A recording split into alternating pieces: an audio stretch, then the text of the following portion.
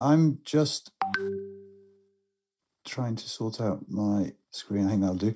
Okay, so good evening, everyone. Um, Dom, thank you very much for asking me to uh, contribute to this evening's session. Um, we've got two amazing speakers to follow me, and if I can set the scene in any way possible, that'd be an absolute privilege uh, and honour.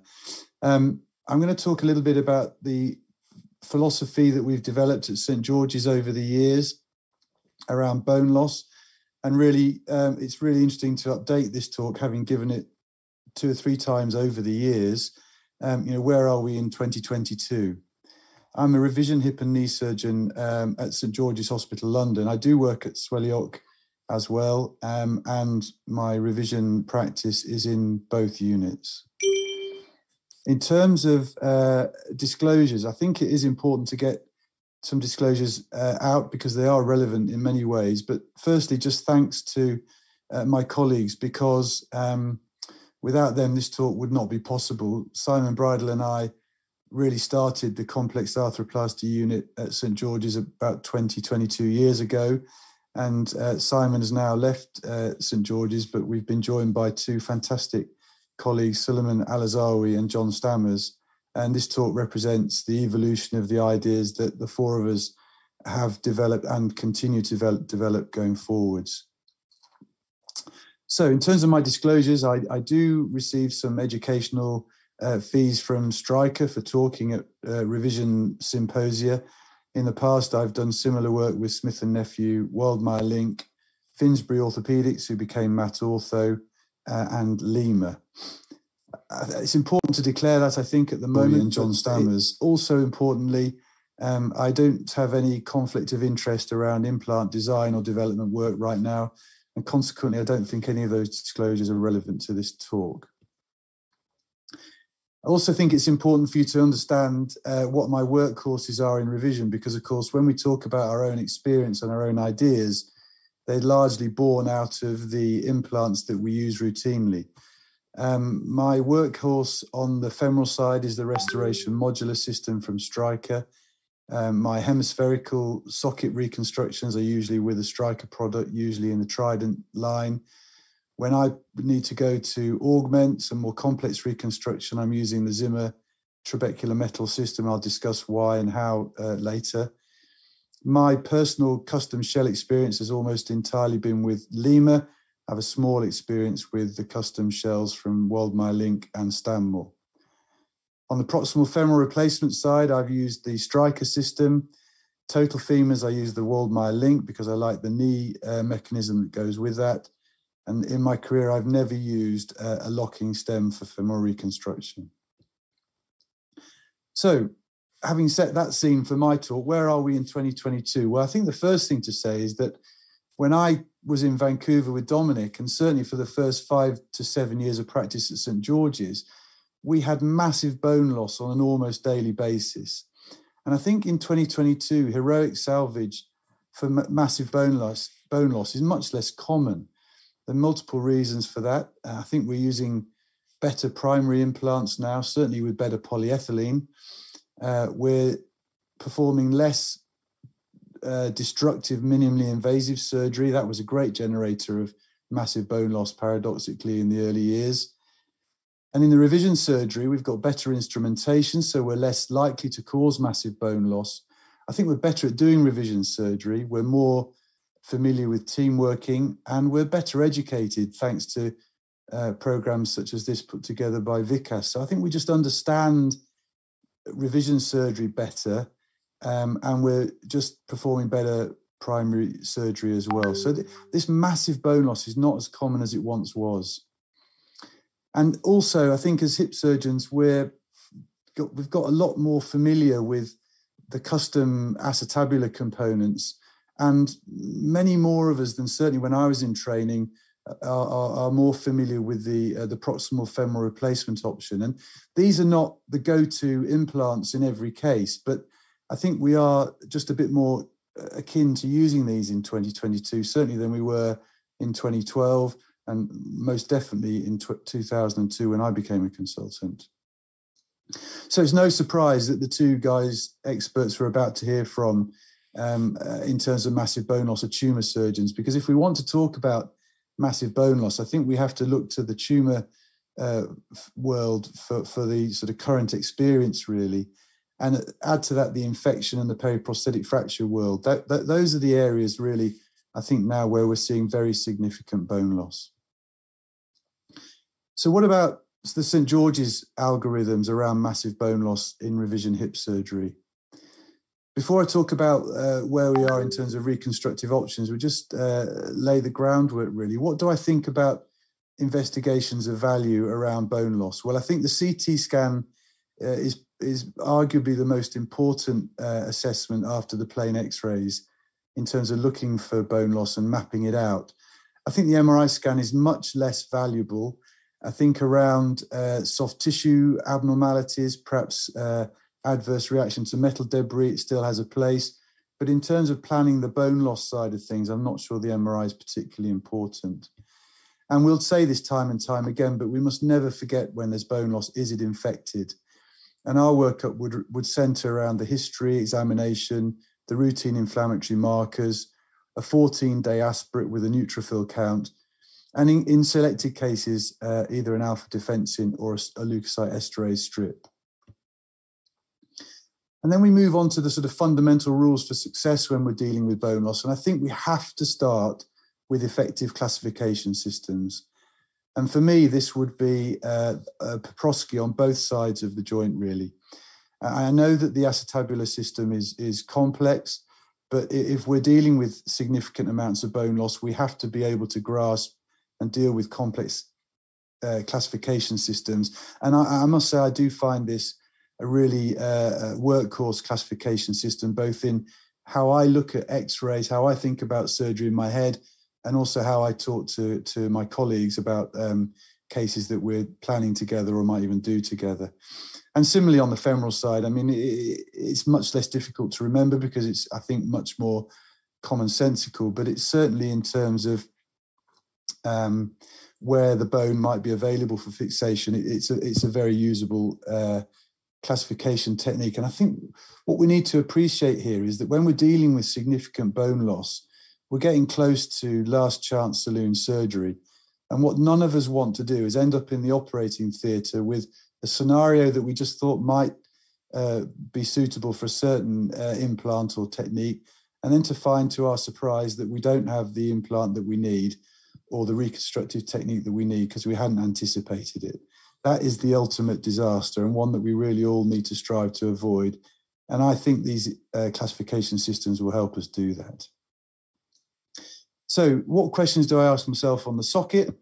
Do I have a supportive rim? Can I manage with one or two augments? Do I need column support? Do I have pelvic discontinuity? And then just a little bit about what is the patient's biology, and I'll, I'll enlarge upon that in a moment. In terms of the rim, um, I think if we do have a supportive rim, then for me, any hem- any hemispherical cup will do. I don't think you need a particularly special hemispherical cup. I've used the the PSL Trident in many many revisions with a supportive rim with fantastic results. Um, within that supportive rim, if there are contained defects, then we're going to graft those. But if if the rim isn't um, supportive, then we've always got the option of impaction bone grafting, closing the rim with bone and, and impaction grafting a socket in. In terms of do I need augments, um, I make no uh, apology for pushing the trabecular metal system. I'll explain why uh, momentarily. Um, it's been the uh, augment system that I've stuck with. I know they were the sort of first to the market, really, and and now every company seems to have a system of augments, most of which are more usually user friendly. But the reason I've stuck with this is this. I mean, I, th- I think the biomechanics of our reconstructions in the socket are really important. And if we think about the uh, the Young's modulus of our reconstruction and how the bone might remodel about uh, around something that we're going to put in there, if you add a, a tantal, a purely, completely trabecular tantalum augment or shell with cement and a polyethylene liner, the Young's modulus of that reconstruction is essentially the same as bone. And we've seen amazing bone remodeling, and that, that's really why I've stuck with um, this system. Here's a 15 year x ray of a very complex acetabular reconstruction in a gentleman with ankylosing spondylitis. And you can see that the bone has just accepted that and, and treats this implant as bone. And this has been our, our, our uniform experience of favorable remodeling around these uh, tantalum implants and pu- pure tantalum, not the shell with a locking mechanism, but the pure tantalum shell. Do I need column support? Um, I mean, column support was extremely challenging because the shims and the shim augments and the column augments were really, really difficult to use. And I think this is one of the areas where the um, the custom implants are really coming into their own. What about discontinuity? I'd just like to introduce two ideas to you. Uh, this is the stiff and the flexible discontinuity because I think they need to be treated differently. If you see a discontinuity like this, where there really is um, no uh, uh, uh pubic ramus fractures and no real distraction, uh, sorry, uh, migration of the of the discontinuity, then I think that is distractible and can be treated in the way that Wayne Paprosky described with a with a large shell plus or minus augments. But if you see these pubic ramus fractures down here and or in the superior pubic ramus, that's not distractible. If that's a flexible discontinuity, and if you try and distract it, it'll just keep on going and going and going. You need to reduce and fix that and then reconstruct it with whatever you think is uh, appropriate. For me, that would be a tantalum shell. So uh, then the, the, discontinuity with massive bone loss, I think we'll hear a lot about that from uh, from Matthew and, and, and Duncan. But um, for me, that's ignore and stem fixation with a cone implant, or reduce, fix, and replace with a custom shell. And I, that, for me, that the, the custom shells have just really transformed my experience with the um, the the discontinuity with massive bone loss.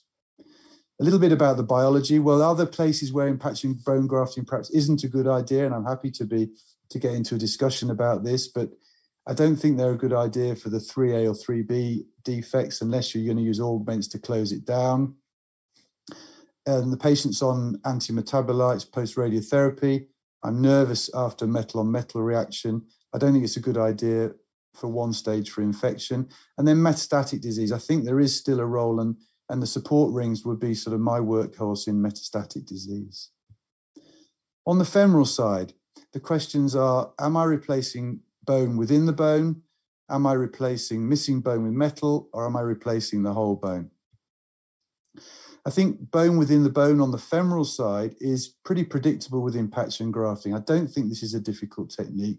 And I think most of us can achieve good results with this, but we must obey some fundamental rules. And you know, in my hands, I've got it wrong from time to time. I haven't always understood the biology, the pathology, or underlying causes, but on the whole, had really very satisfying results with impacting bone grafting on the femur. If I'm replacing missing bone with metal, then I'm either going to use a monolithic stem like this or a modular stem like this. I'm not very keen on the, uh, the, the monolithic stems. I don't think many of us are using these solution type stems anymore. But the, the Wagner type stems, I know I've got a lot of fans, and we can certainly get into discussion on this.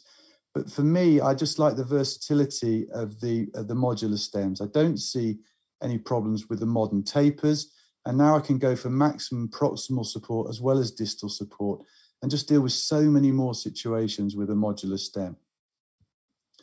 In terms of the ETO with the taper fluted stem, I don't have a big problem with the length of the ETO.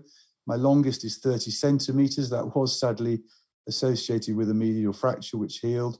But the medial corticotomy, as we see here, will always give us the opportunity to correct varus remodeling. What about replacing the whole bone? Well, I think it's predictable. It's quicker than some of the more complex reconstructions. I think arguably it's less complex. The rehab is easier. And I've got a very low threshold for this in the end, elderly uh, particularly, and as we might hear from uh, Duncan, who I know talks about some improvements in the junction between the implant and the bone. And I think that might make these things even more attractive as time goes on. So, in terms of massive femoral bone loss, I think we should plan for it, know it's going to happen, have some vascular help around in case we need it, and work in teams. I'll come back to this time and time again. Here is Simon Bridle on the left and me on the right and, and, a fellow in the background working on both sides of the bone, looking for the vessels, dealing with them as they start bleeding. And then later on in the operation, um, building the implant. It just speeds things up, helps with decision making, And when one person starts to get tired or overstressed, the next one takes over. Combined massive bone loss, I think sometimes this is inevitable. Uh, this lady, 46 years of age, came to see me just for a checkup actually. Um, and really to to uh, get that center of rotation on the um, the socket anywhere near the right place, that stem's fully ingrown and will have to come out. There's no way the soft tissues, particularly the sciatic nerve, will take the stretch. So resection of the proximal femur may be essential in terms of getting the length right, the center of rotation right, the biomechanics acceptable, and of course, improving the exposure. And just finally, and very quickly, some thoughts about the surgery itself. These patients have multiple scars, they have adherent layers. The surgery is associated with high stress levels, it takes a long time. There's high risk of complications, it bleeds a lot sometimes. But I think if you stick to the basic surgical principles, don't deviate with the, from them just because it might be a salvage operation, you'll be onto a winner. So here we go through the layers. There's the skin, the fat down to the fascia lata. Develop the fascia lata in the way that you normally would in a revision. Then the tumor and the bone loss underneath that will come into view. For me, the starting point of all revision surgery is the sciatic nerve, and I won't progress until I've identified the sciatic nerve because I know then I can work in front of that very safely. Tag the soft tissues for repair at the end, do whatever we need to do, and don't particular small incisions, meaning that our newer implants get dragged in through the skin on the way in. You can repair them at the end. You know you haven't damaged the sciatic nerve, and, and, really those layers on the way out um, will be a biological barrier to infection um, after surgery. So I mean, even in the most complex of situations like this, where you've got everything and the kitchen sink inside the patient, as long as you pay attention to developing layers, careful hemostasis, and preservation of the uh, vital structures. I think with a satisfactory and sound algorithmic approach, never under, under, underestimate the importance of working in teams. You can get good and predictable results even in the most complex of situations. Thank you very much.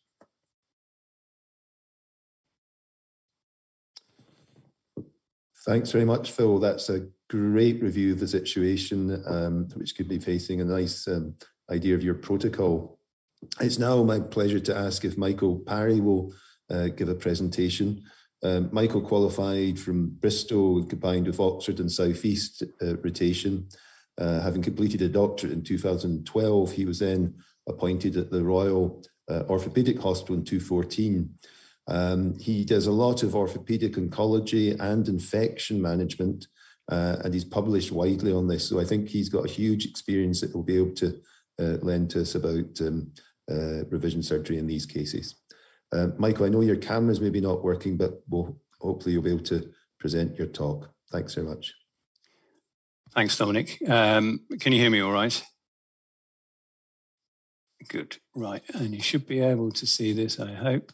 I do apologise. That I'm, a camera, I'm possibly the most technologically inept person in the world, so I'm sorry that I'm not being able to get this work to work. Um, thank you very much uh, for asking me to give a little bit of insights. We, the, the way we were, we've sort of structured this, I think, is that um, Phil's obviously given you the, the overview of the sort of grand plan and management, and my remit was to sort of talk about uh, particularly the acetabular side um, bone loss. Um, and I think Duncan's going to concentrate a bit more on the femur um, after me. Um, so uh, my my background is, as, as Dominic says, is principally in, in oncology, but I also did the Vancouver uh, arthroplasty fellowship. Gosh, feels like a long time ago now. So my my principal background is in is in, in revision arthroplasty, um, but obviously there, there's an awful lot of translation between the two specialities of orthopedic oncology and revision arthroplasty, um, and it's quite refreshing to see. I think um, for Duncan and I that, that a lot of the techniques and, and um, implants and, and, devices that we've relied upon for our workhorse reconstructions over the years uh, following massive bone loss for tumours have now found their way into into orthopedic practice as a whole, but revision arthroplasty, and it's sort of testament to what we've done and our, our those that went before us, the sort of great innovators in years gone by, um, what they set out to achieve. um, that these implants are now getting more and more uh, traction in, in, in, more conventional uh, arthroplasty, uh, non-oncology um, uh, scenarios. Um, so, what are we talking about? Well, really, it's this, it, it, Phil's touched on it already. It's sort of the unpredictable nature of what we do. Um, and and it's quite refreshing to see other people say, you know, if you take your eye off the ball, it, it does come out, come up and bite you quite quickly. Um, so having having the, the, the, full shelf, the full toolkit of what you need, um, particularly in an oncology setting, but but very much so in a revision arthroplasty setting, um, I think is is absolutely um, of paramount importance. And one thing I would have added to Phil's talk is to just make sure you've got the toolbox behind you. Um, it's all too easy to find yourself in a situation of an unpredictable scenario without a, a, a reliable get out of jail clause. And of course, the the the the, uh, the, the oncology surgeon in me would always say that you it's always nice to have a plan A. It's quite refreshing to have a plan B but never underestimate the, the value of a plan C, D, E, F, and all the way sometimes up to the midpoints of the alphabet because it can be incredibly unpredictable. And I used to think when I was a younger man that the unpredictability demonstrated a naivety of use, but actually I think as I've got a bit older, it it it possibly presents a slightly more balanced approach to the, predicting things that are, are slightly less predictable, I suppose. Uh, so we were talking about the the acetabular bone loss. I'm, I'm, what I'm going to do is um, Phil's in a lovely overview of of of, of the, the, the key points to remember, and I'm just going to sort of show you a few, hopefully a few interesting cases which aren't too boring, I suppose, but um, just to demonstrate what, what, we what we come across sort of day in day out. some of this is oncology, some of it's revision arthroplasty, and some of it actually is primary arthroplasty as well. So the causes and classifications, the the the, the, the classification, those of us that did any time in North America will be sort of have this drummed into us, um, and it's it really is very reliable and reproducible. Um, what we're talking about, I think, the majority of the time are the 3A, 3B defects, which sort of give you the willies a bit and scare you uh, the most. The, the lesser ones down towards the lower end of the scale are, are often quite manageable with um, conventional primary arthroplasty um, uh, implants uh, on the acetabular side. And the causes of bone loss, and this is all sort of the basics, it's the congenital and the, the acquired causes. Um, what we principally talk about is, is revision arthroplasty, and I agree with Phil, actually, I'm, I'm seeing an awful lot less um, significant periacetabular loss for, for non-oncology causes now than, than, certainly I used to see when I was on fellowship and when I first started here. Infection, however, remains a big problem and is, is an increasing problem, I think. Um, and maybe we've traded one enemy for another, um, but of course it is a rising problem um, in the population tumor, both primary, principally primary malignant bone tumor, um, will, by the very nature of the disease, lend itself to massive bone loss, and it's having the mechanism of reconstruction of that. And of course, the Paprosky classification doesn't really apply to that, but the principles are the same. Metastatic bone disease is in, increasing, um, and I think allied to that is the the the improvements in survival for patients with metastatic bone disease, which means that more of these more patients with uh, metastatic bone disease are living for longer, which means your reconstruction just needs to be that much better, that much durable, um, because it, the, the principle is very much the same. It has to outlive the patient. And if the patient's living longer, your reconstruction needs to live as long, at least as long as they do. Metabolic bone disease, again, not so much of an issue um, uh, in my practice, but we do see a few weird and wonderful, funky things that give you quite significant bone loss or poor quality of the bone that remains, um, and obviously is, is within the differential. The options for reconstruction obviously depends very much on the size and location of the defect. Um, uh, the advent of, of modern um, revision cup systems. Um, I don't have a particular favourite, I have to say. It's sort of horses for courses, but um, the jumbo cups for can, and, and, and, and, TM cups can fill pretty much most defects um, with or without the addition of something else on the backside, be that an augment or cement or um, some sort of allograft or autograft from the patient themselves. Um, moving up the complexity ladder for the central defects using a cage, I have to say I've, I've fallen out of favor. They've fallen out of favor in my practice a bit, largely because um, I think they're a bit fiddly, they're a bit unpredictable, and probably not good enough at using them to make them reliable. And largely because pedestal cups, I think for for for, for pelvic tumor surgery have largely replaced sort of um, cages, cup cage constructs. Um, and, uh, you know, a, a, an ice cream cone type prosthesis, a pedestal cup can do as much uh, as, a, as a cup cage. And, and in, in my hands, I think is, is probably slightly easier to put in. I mean, this is the sort of fairly straightforward um, case. Uh, the principle is, I mean, this is a, a relatively fit and well alcoholic, um, avascular necrosis, which has been around for a long time, about as long as his drinking problem, um, but it, now nice and dry, but effectively has a, a, superiorly translated hip. And the principle is to get the hip center down and reconstruct the defect. Um, and that's the sort of thing that's now um, six years down the line. It's the sort of thing that, that actually does very well with a with an augment, bring the hip center back down, restore leg length. Um, needed very very well indeed. Um, and and that in I think is a nice is a really nice straightforward. It's a really good fun thing to do, um, and it's nice and reliable. Uh, we see less and less of this now. These are the, the sort of typical um, either Perthes or DDHs that, that, that, we used to see, um, and I certainly see, see fewer of these now. Um, but the principle is the same: um, significant uh, dysplasia and and um, not really bone loss, but a, a, a, sort of a defect for a, a challenge for for acetabular reconstruction and this was a sort of early one from my practice. I used to, be, used to quite enjoy using um, either autograft or allograft, recon, autograft or allograft reconstructions for, for superlateral defects, and they did they, they often did quite well if they didn't get infection. Infection didn't get infected. Infection was always a, a bit of a problem. Um, this is a slightly more uh, challenging um, situation. So this is the, the Paprosky 3B. So this is an acute presentation. Again, a native not, not revision, but 85 year old lady who um, fit and well lived out in Hereford. For those of you that don't know, it's farming country. They, they build them bloody strong over there.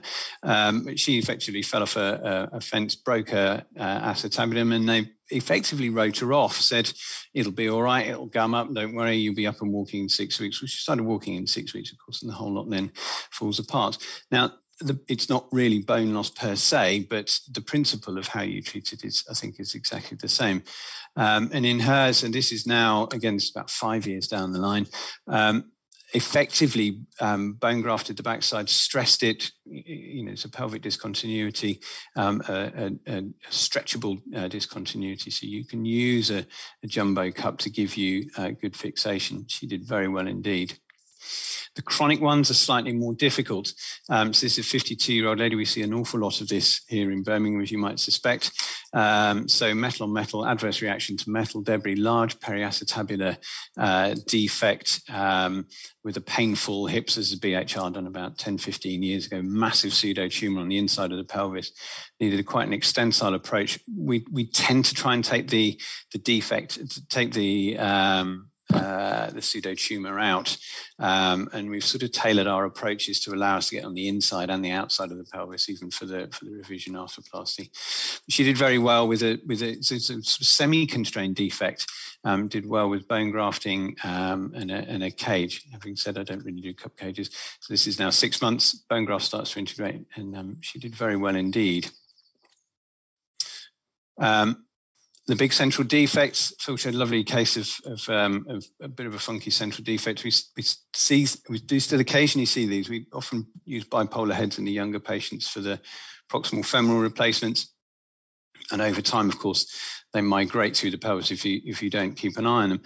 Interesting, what you find is that you it looks like the whole thing's sticking into the pelvis. You often get this sort of neo-acetabulum, a nice sort of corticated um, floor, which you can often use to build something off. Um, and in his case, revises proximal femur, that was loose. Um, big augment that looks like it's floating in the breeze, but actually that's buttressed up against um, very nice bone. And again, four years later, like Phil said, that sort of integrates itself beautifully. Um, and he carries on functioning extremely well indeed.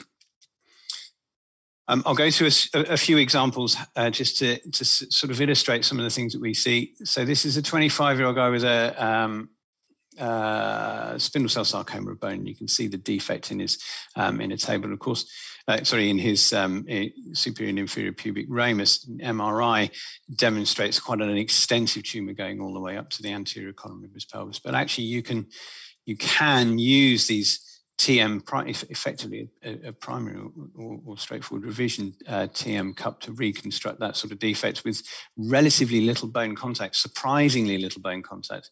Um, and this is now about four or five years down the line, cancer free, functions extremely well. Um, and that thing is now fully integrated. Um, so we, we always used to say sort of about 50% contact on the cup to give you integration. I think you could probably start stressing that a little bit more. And certainly we found um, even with very, very small contact areas, um, you can get these cups to, to stick quite nicely. Um, is a 62 year old gentleman, high grade chondrosarcoma of his pelvis. Um, so this underwent so, so, effectively a P2, P3, so periacetabulum and, and, and, and pubic resection. Um, and complementing the, the, the pedestal cup, quite a short stem fixation on the pedestal cup. And we found that's about the limit of what you can get in the posterior ilium, about five centimeters of bone cover in the ilium. Um, and have augmented that with shims on the front and the back of the pelvis. And of course, this is actually quite straightforward because the whole thing's open in front of you. You can see the D, you know, you can see the inner table and the outer sobot of the pelvis. So using these as buttresses to support the cup. Um, he's still quite early on, but he's functioning very well. He's gone back up north to Sheffield. Um, so, so it, it's sort of using the, the, the arthroplasty principles of, of, of, shims and supports to augment the more sort of conventional oncology reconstructions. Um, this is a sort of case in point. I just I put this in just to sort of highlight the issues. This is a 45 year old gentleman.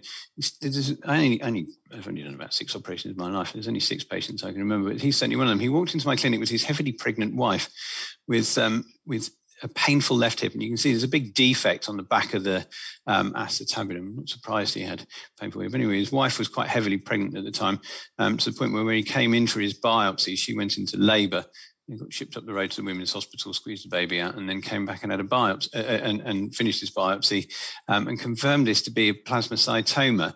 So not a primary malignant bone tumor, but but effectively um, malignancy is the acetabulum. And you sort of look at it and you just think, oh my God, there's absolutely no way this chap is going to be able to walk on this. It's all going to disappear. And he goes off and he has his chemotherapy, has some radiotherapy, and it's an exercise in in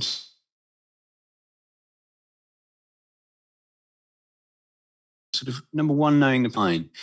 You want patients with hematological malignancies around the, the pelvis that you just think there's no way this is going to stay in place.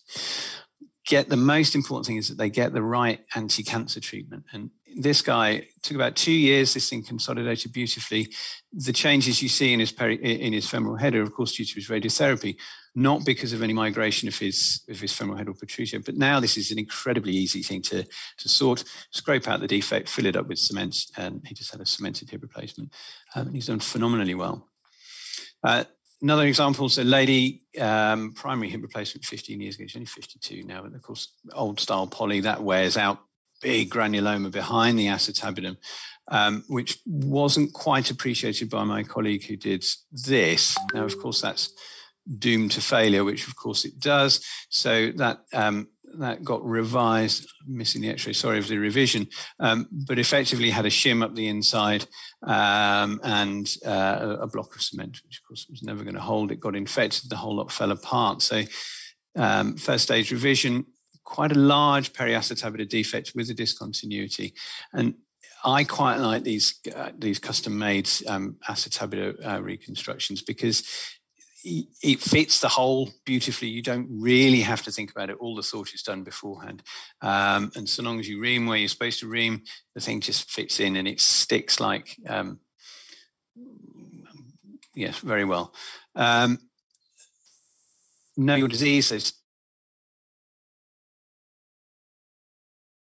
75 year old prognosis pretty poor so but equally um, she's not going to do very well um, with with um, with a hole in the acetabulum so um, in our hands here, what we would normally do is reconstruct it with a, effectively a modified Harrington technique. Um, so block of cement uh, effectively reinforced concrete. And this does very well in the in the short to medium term, which course a lot of these patients only need mobility for, for a relatively short period of time before their disease um, takes them. It's not just cancer, of course. A 45 year old gentleman, pelvic trauma about 20 odd years ago, came off a motorbike and completely destroyed his hip. Um, again, Herefordshire farmer, um, AVN of the femoral head, that disintegrated, disappeared years ago, but very poor bone stock around the acetabulum. Um, and like I say, in in my in my hands, that does that does quite nicely just with the cone. This is one of my colleagues' cases, um, but we are we have a low threshold of just reconstructing these with the pedestal cup the long term function of these is is actually now pretty good megaprostheses for the acetabulum are relatively few and far between, um, mainly because of the complication risk. But on occasion, you do get the, right, the, the, sort of right patient that does quite well. Again, chondrosarcoma, custom-made periacetabulum. Um, he's now about six years down the line and functions extremely well. It's not as good as a revision arthroplasty, obviously, but um, they're cancer-free and they do they can do quite well with these custom-made uh, periacetabular uh, reconstructions. Um, I think the last one I'm going to tell you about is a sort of tale, uh, tale of woe, I suppose, is the sort of things that come across your, occasionally come across your, your table. The 45 year old lady had a Birmingham hip resurfacing at the age of 25. Um, she's now 45 years of age, so 20 years later, and she's got this painful um, pseudo tumor around the uh, around the um, around the Birmingham resurfacing. This was revised by a colleague of mine. Um, you can almost see this is in the days probably before when we didn't really understand explants and things like that, but you can almost see where the curved osteotomes have gone round the acetabulum to get the cup out. And of course, it's an uncontained uh, defect. The, the cage, unfortunately, is in the wrong place. So that will migrate very quickly, and she never really made it out of hospital. Um, and again, in our hands, just go straight for, for a pedestal cup. The interesting thing is that she's quite short and quite small, so the, the, the off-the-shelf numbers often don't work. Um, but what you see at the top is that actually her bone remodels around it.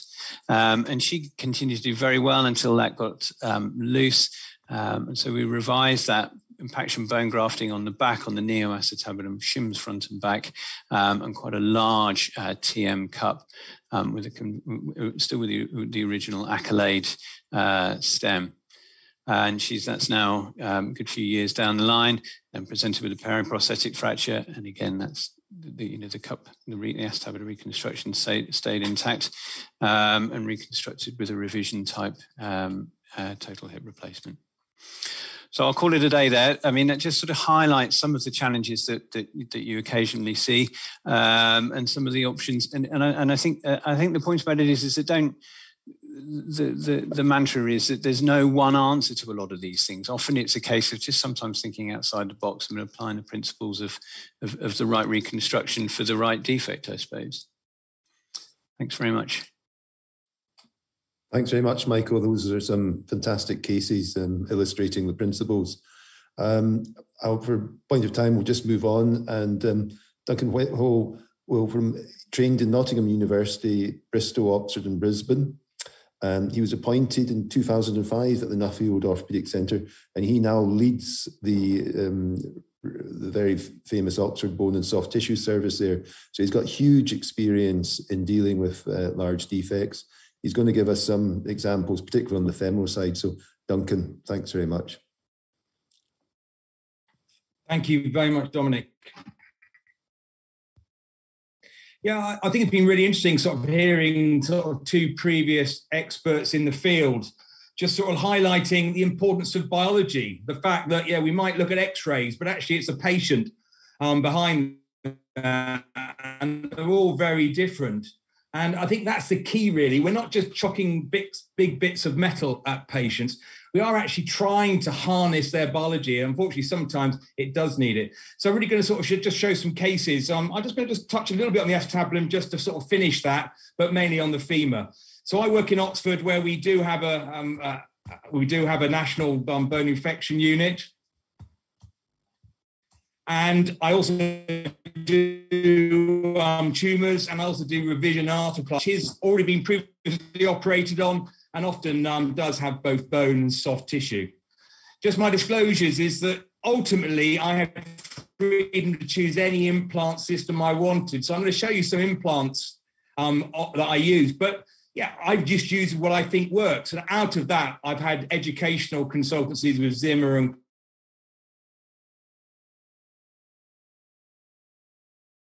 to try and improve um, the use of uh, tumor prosthesis. But there's four things really that I think you need to do this type of work and not go to an early grave. And uh, these are your friends and your teams, as uh, as we've heard from Phil. You've got to have a good relationship with your microbiologist, your infection team, because yeah, a lot of these cases are always going to have the infection. So yeah, we have to work hand in hand with these guys. I also have a really good relationship. They're on fast dial on my mobile with the plastic surgeons really helpful for dealing with defects in the soft tissues or helping you with skin. Really important. And we on a Wednesday, when we do our major cases, have about four plastic surgeons in adjacent theatres that we can call in. And uh, for the for the fit for the hip, a rectus femoris rotational flap is fantastic in both infection and other etiologies. Duncan, moment. My other big trend is where I've been used in the sort of the 2C, 3A, 3B the cases that you can't just use a hemisphere for, the difficult yeah, uh, bone loss cases. And there, I'm afraid, porous metals has really revolutionized my Duncan. practice. Yeah. Sorry to interrupt. Are you meant to be screen sharing? We can't see your screen. Oh, do apologize. That's all right. Okay, because I thought I pressed it. Okay. You're a very handsome man, Duncan. Is it? We're coming now. Okay. Yep. So my friends really are trabecular metal, and we've heard that Phil also talks about this as well, and the fact that this porous metal accepts both soft tissue and bone through its pores, and it really lats, um, latches on to poor quality bone early with compression screw, and that's been revolutionary in my practice. And then you've heard the other Paprosky classification in the femur, and yes, the workhorse is the modular taper fluted stem but really, when you come down to the significant bone loss in the type 4, where I've really found sort of help is the tumor prosthesis with the use of porous metals. Um, again, here at the attachment for the greater trochanter, or even if it's just a soft tissue attachment for the abductors. So I just sort of emphasize sort of a case. This is unfortunately a case that I gathered after going giving a, a lecture in Ireland um, the patient, the surgeon came up to me and immediately re- referred this patient with all the funding. So I couldn't really say no after I sort of uh, talked about this.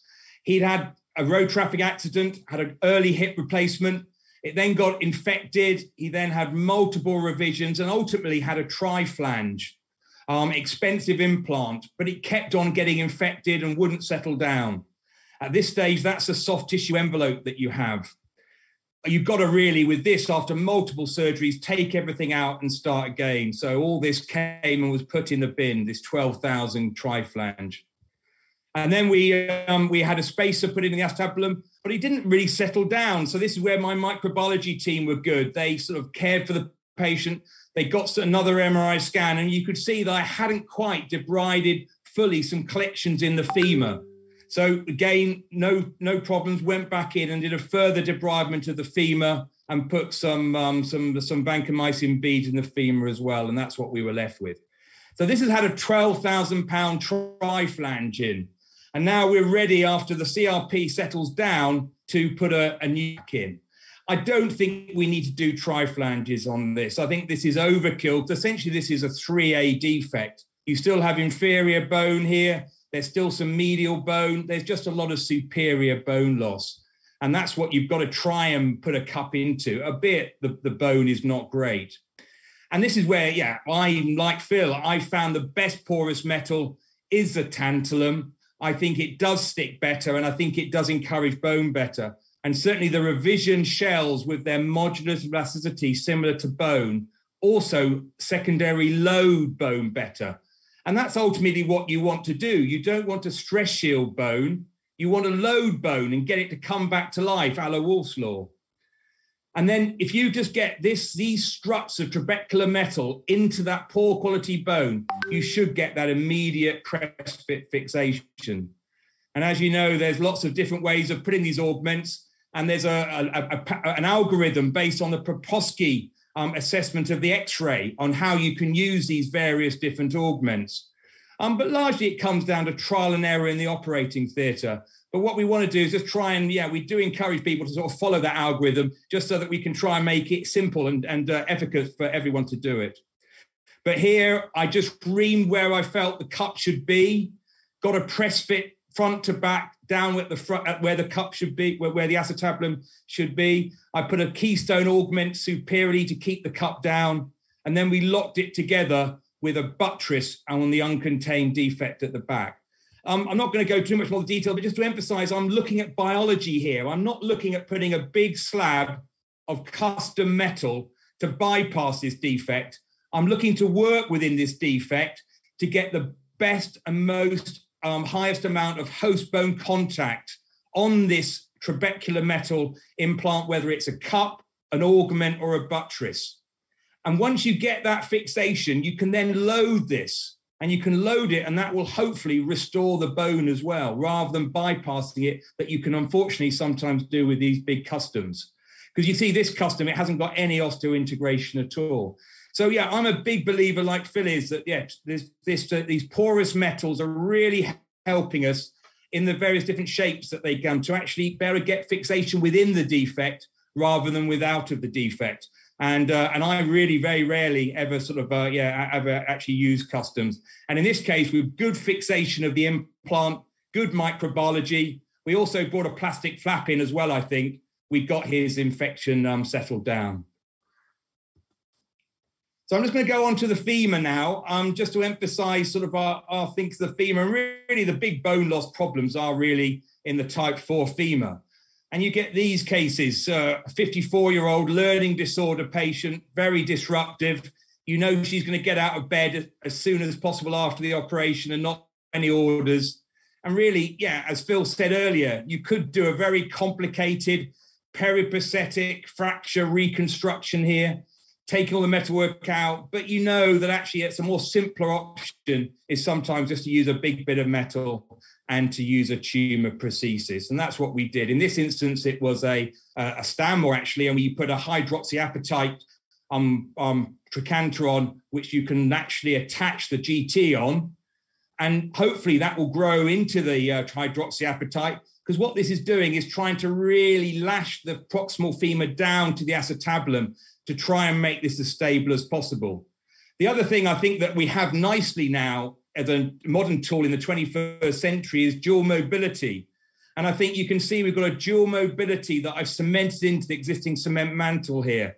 And I think dual mobility, really attaching the greater trochanter onto the implant, is really helping us in this day and age get stability. And uh, from 20, 30% instability from proximal femurs 20, 30 years ago, we're now in single figures that we're likely to dislocate. So we are seeing improvements and reductions in complications with modern designs of dual mobility and attachments on the GT and careful soft tissue closure over it.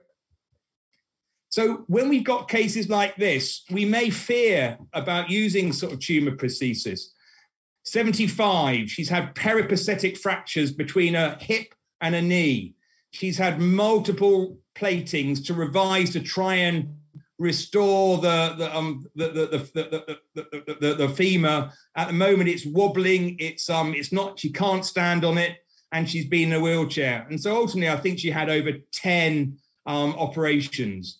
Um, just for completeness, yeah, we checked for infection, inflammatory markers, and an aspiration were all negative. So yeah, how can we undertake a, a, a, a, segmental or a, tumor prosthesis operation on this, but try and minimize the complications? Because if we get a complication, it could mean a long time in hospital for this patient and could almost be terminal. Um, we've presented on this, and there's been a paper that came out a few years ago, sort of our experience of tumor prosthesis. And I want to re-echo what uh, what Mike Parry said, really, in that what we find in our hospital is that the revision arthroplasty surgeons probably do as many tumor prostheses as we do in oncology. And really, sort of our practice of using tumor prosthesis has really been taken on um, quite significantly by my arthroplasty colleagues, both in the hip and also in the knee. So yeah, in this case, we decided to do a total femur. And yeah, apart from sort of um, knowing a little bit of anatomy, largely in revision arthroplasty, you can keep on the bone. And as you go down the femur, releasing it, you've got to come across a few vessels like the profunda, which is about two finger breadths below the lesser trochanter. But largely, as you go down, you can just take the tissues off the femur, keeping away the nerve and the and the femoral vessels. And then when you come to the knee, always resect round the knee in flexion because that allows the popliteal vessels to drop back, and you can easily get to the back of the femur and just um, diaphragm through through geniculate coming off the popliteal vessels. And it's a relatively safe way of dissecting out the total femur. So in this case, yeah, you can see this is the biology that we took out from this femur. You can see that was never going to heal. There's not much bone there. And it's that appreciation when the biology is poor that I think is really important. And you see, we converted that into a total femur. We've used a dual mobility up here. We've got trochanteric attachment onto a trabecular metal plate here. And we've got a modern generation hinge there. So modern implants that can hopefully, in this case, get a 75 year old lady out of a wheelchair. Yes, okay, she's on a frame, but at least she's mobile. And I think that that is a, a good option when you're at this end stage when you can't um, really get any bone healing because of the biology. But just to emphasize that sometimes results are much better if the muscles and the and, and, and the and the patient are fitter. This is a unfortunately a younger patient who had a very complex sort of um, infection a lot of proximal bone loss. Then they had a modular fluted stem reconstruction. Fortunately, the taper was not well fixed in the isthmus, and the taper subsided and came out of the knee. And with arthritis in the knee, we ultimately had to do a total femur. But in this case, you can see a much more younger patient, muscles better. With her right femur, you can see that she's walking without any walking aids. And so these actually can. That's actually her left hip, which is weaker than her right.